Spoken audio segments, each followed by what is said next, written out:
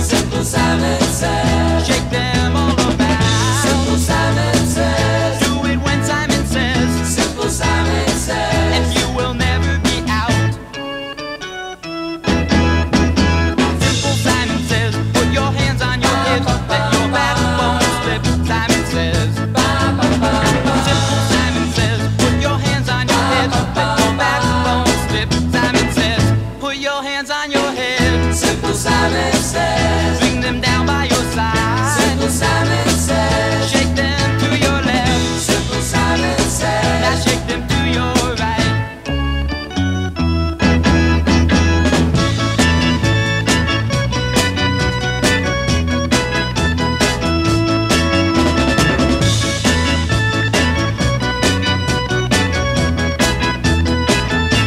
your hands on your head. Simple Simon says.